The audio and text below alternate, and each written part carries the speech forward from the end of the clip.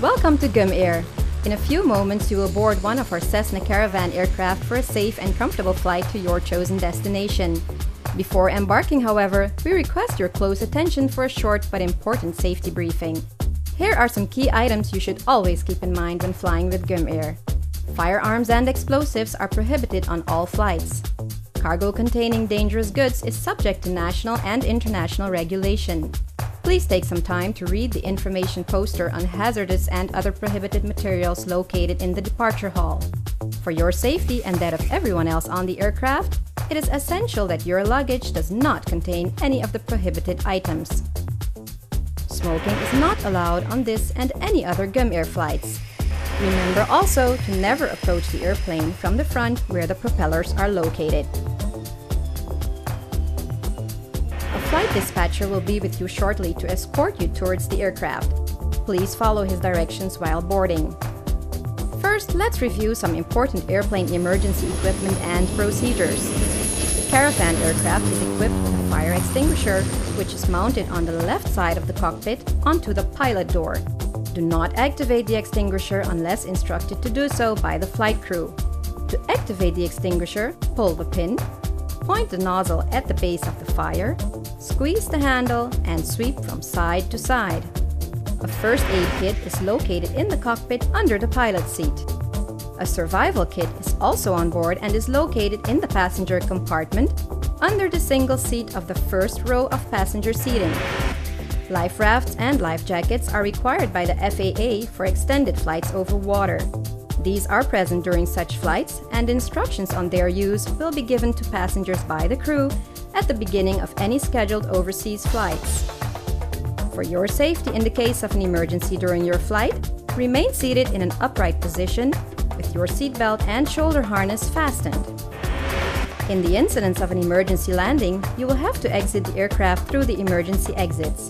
The Caravan aircraft has two clearly marked emergency exits in the passenger compartment. The first exit is the passenger door on the right-hand side of the aircraft, and the second is the cargo door on the left-hand side of the aircraft. Operation of the emergency exits is as follows. Exit passenger door. Pull handle on the top window part in, rotate clockwise, and push window open. Next, turn lower handle up clockwise and push stairs down. Exit cargo door.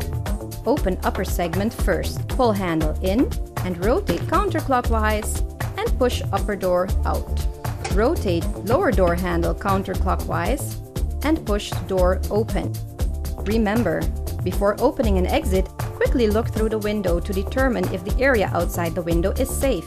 If not, redirect the passengers to another exit.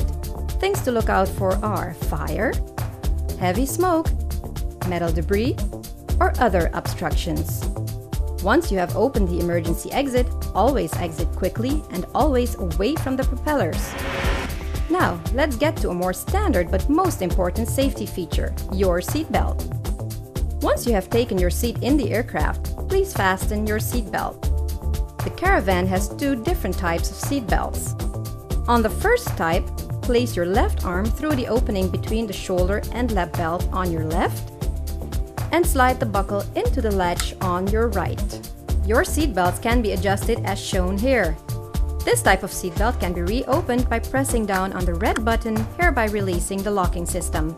For the next type, which has only a lap belt, locate the two belts on either side of your seat and slide the flat metal part of the one side into the buckle on the other side. Your seat belt can be tightened by pulling on the loose end of the belt as shown here and can be reopened by lifting up on the top part of the buckle, hereby releasing the locking system.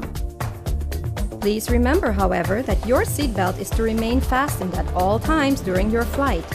You may release your seatbelt only once the aircraft has landed and come to a complete stop. All hand luggage must be stowed under the seat in front of you. Once you are comfortably seated, you can refresh your memory on the emergency procedures by going over the safety briefing card located in the airplane. If you have any other questions, please feel free to approach your flight crew. Thank you for choosing GUM Air for your flight today, and we hope to welcome you again many times in the future. Have a safe and pleasant trip with GUM Air, your charter specialist.